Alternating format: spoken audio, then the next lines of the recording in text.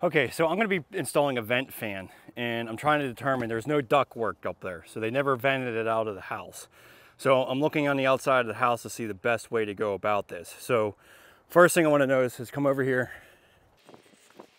The window where the ladder is, that's the bathroom, okay? So we're about uh, eight feet to the gable.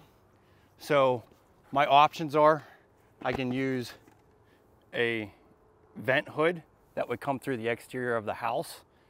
Now I have to obviously climb up into the attic and do that. I'm gonna have to drill a hole from here and then crawl up in the attic and connect it. The other option would be to use one of these. This is just a simple vent, four inch vent that I could put right into the soffit. So this is gonna be a lot easier because I can cut the hole from my vent fan and just grab the flex duct and go to that outside eave.